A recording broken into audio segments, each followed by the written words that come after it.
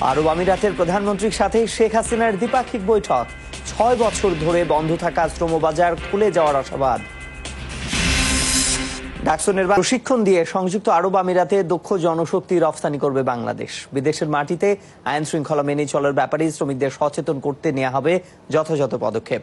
আরব আমিরাতের প্রধানমন্ত্রী রশিদ মাকতুমের সাথে দ্বিপাক্ষিক বৈঠকে এসব কথা বলেন প্রধানমন্ত্রী Sheikh Hasina.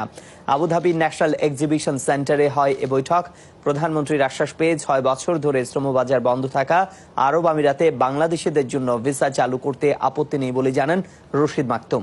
আধা ঘণ্টার বৈঠকে বাংলাদেশি বিনিয়োগের ব্যাপারেও আগ্রহ প্রকাশ করেন তিনি।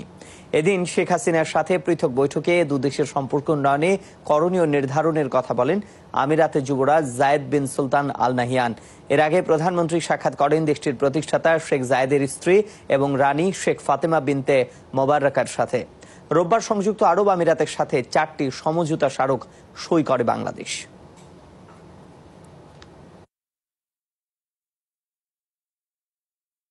আজকে যেভাবে আমরা পেলাম পজিটিভ অবশ্য। তবে হ্যাঁ এখন আমাদের কিছু কাজ করতে হবে কারণ সব দেশে ব্যুরোক্রেসি থাকে। ওদের সাথে একটা একটু করতে হবে কিন্তু যেখান থেকে হুকুম আসার হুকুম হয়ে গেছে যে অপেনেট সংসদে আলোচনা